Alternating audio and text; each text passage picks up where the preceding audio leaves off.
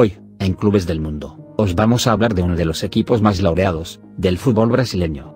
Se trata del Sport Club Corinthians Paulista, conocido simplemente como Corinthians, con sede en la ciudad de Sao Paulo, Brasil. El Corinthians, juega en un estadio realmente precioso, y singular, por el tipo de construcción. Se trata del Arena Corinthians, también conocido como Itaquerao, debido al barrio de Sao Paulo, donde está situado. El campo es propiedad del Club Corinthians, y tiene una capacidad para 49.205 espectadores. Y fue inaugurado en abril de 2014. Fue una de las sedes, de la Copa Mundial de 2014, incluyendo el partido inaugural. Para la disputa de la Copa Mundial, se montaron gradas adicionales, que elevaron su capacidad a un total de 61.600 asientos. Es un estadio de 5 estrellas, en base al reglamento de calificación de estadios de la UEFA. Toda la pared oriental del estadio, es una gigantesca pantalla grande de alta definición, y que fue la mayor del mundo en su estreno. El club es conocido también, con los apodos de, Coringao, Timao, o Time do Povo, que significa equipo del pueblo. Es uno de los clubes más laureados de Brasil, habiendo ganado dos Copas Mundiales de Clubes de la FIFA, una Copa Libertadores de América, una Recopa Sudamericana, siete campeonatos brasileños, tres Copas y una Supercopa de Brasil, y 30 campeonatos paulistas. Es reconocido, como una de las marcas más importantes en el mundo del fútbol. Un estudio realizado en 2012, muestra al Corinthians como el club de fútbol brasileño más valioso por tercer año consecutivo. Fue el primer club brasileño que ha superado la marca de mil millones de reales brasileños. De acuerdo con una serie de institutos de investigación, el Corinthians tiene entre 27 y 33 millones de seguidores esparcidos por el país. Tiene la segunda mayor hinchada en Brasil, solo por detrás del Flamengo. Fue fundado el 1 de septiembre de 1910 por cinco trabajadores ferroviarios, del barrio de Bom Retiro, a raíz de las actuaciones del Corinthians Football Club inglés. A inicios del siglo XX, el fútbol era un deporte de personas pudientes. Los principales clubes se formaron por personas de clase alta. Por contrario, en su inicio, el Corinthians estaba formado por trabajadores y otros amigos. El equipo jugó en sus primeros años con una camiseta color crema con los puños negros, similares a los del Corinthians inglés. Con solo cuatro años de existencia, el equipo ganó su primer título en Sao Paulo, el Campeonato Paulista de 1914. En las décadas de 1920 y 1930, el Corinthians se consolidó como uno de los equipos más importantes de Sao Paulo, rivalizando con el Club Atlético Paulistano, y la Società Sportiva Palestra Italia, el futuro Palmeiras. Con la conquista del Campeonato Estatal de 1922, el club recibió la Copa Centenario de la Independencia de Brasil.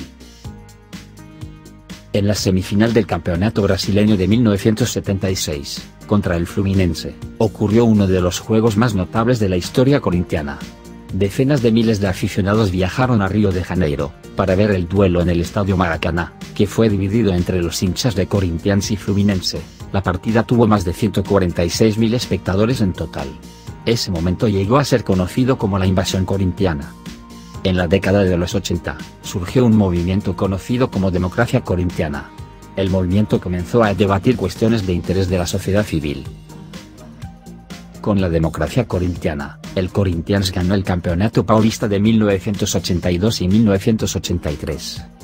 Ganaría su primer campeonato brasileño en 1990, después de haber ganado el segundo partido de la final, contra el Sao Paulo. Ganó dos veces más el Brasileirao en la década, en un bicampeonato en 1998 y 1999. El club tendría el supercampeonato brasileño en 1991. Además, conquistaría en 1995, su primer título en la Copa de Brasil, de manera invicta, y volvió a ganarla en 2002 y 2009. En 2000, la FIFA organizó su primer campeonato mundial de clubes, con la presencia de grandes clubes campeones de todos los continentes.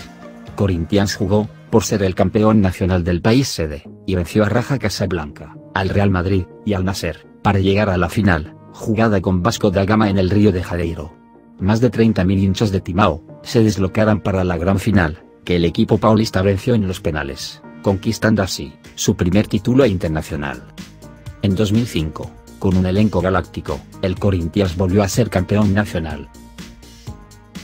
Tras la decepción de 2007, cuando el club no pudo evitar el descenso de categoría, en 2008 el Timao fue el campeón de la Serie B, con la mejor campaña de la historia del campeonato.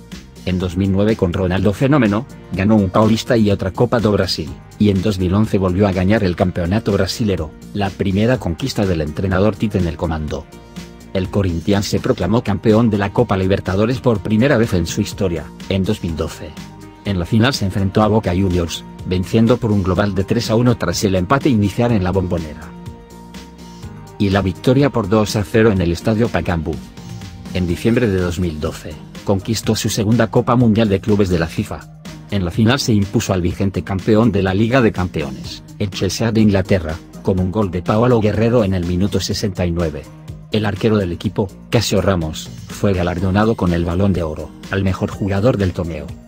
En 2013 Corinthians se consagró campeón de la Recopa Sudamericana, tras ganar los dos partidos, ante el rival del Sao Paulo. Finalmente, el club logra conquistar su sexto, y séptimo Brasileirao, en 2015 y 2017, y se tornó recordista de títulos del campeonato. En 2014, se inauguró su nuevo estadio, el Arena Corinthians. La mascota del club, es un mosquetero símbolo de audacia, valentía y lucha. Desde 1916, el club pasó a jugar con camiseta blanca, sustituyendo el del pantalón por uno negro. Desde entonces, se han convertido en el uniforme oficial. Hasta la fecha, el Corinthians lleva 14 participaciones en la Copa Libertadores. El clásico de Corinthians por excelencia, y rival más tradicional, es el Palmeiras. También mantiene una fuerte rivalidad, con el Sao Paulo, con quien disputa el clásico majestuoso, y con el Santos, con quien disputa el clásico albinegro. Fuera de lo que es el fútbol paulista, destaca su enfrentamiento como un clásico de menor importancia con el Flamengo, conocido en Brasil como el Clásico do Povo, siendo que son los dos clubes más populares a nivel nacional. Y esto es todo por hoy amigos. El Corinthians, no podía faltar en la videoteca de clubes del mundo, siendo uno de los históricos del fútbol brasileño. Nos vemos como siempre, en el próximo video. Ahora puedes apoyar al canal, a través de la plataforma de Patreon, y convertirte en patrocinador de clubes del mundo, con cualquier importe que consideras. Además, con una donación mínima de 10 euros o dólares, puedes elegir un equipo, sobre el cual quieras que te haga un video. Instrucciones, en la descripción de texto, de este video en YouTube, o en www.patreon.com, barra, clubes del mundo.